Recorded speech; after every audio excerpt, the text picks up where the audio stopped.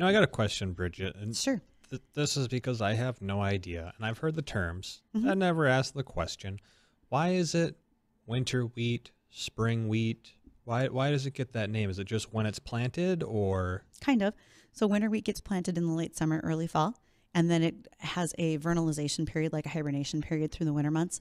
So it's a winter wheat. You harvest it earlier in the season. Spring wheat gets planted in the spring, lasts through the summer growing season. We will raise both up here. The heavier winter wheat growing regions are the southern plains, Oklahoma, Kansas, uh, Colorado, et cetera, where we're more of a spring wheat market. We do have some winter wheat, but generally we're a spring wheat market. Hmm. What's harder?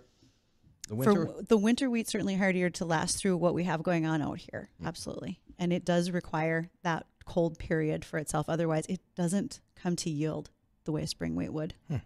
So just a little bit different. that's interesting. Now, when you looked at them, I personally am not good enough to say I could tell the difference if I looked at the seed and compared the two. They look pretty close to me. Hmm. But I'm sure somebody else could tell.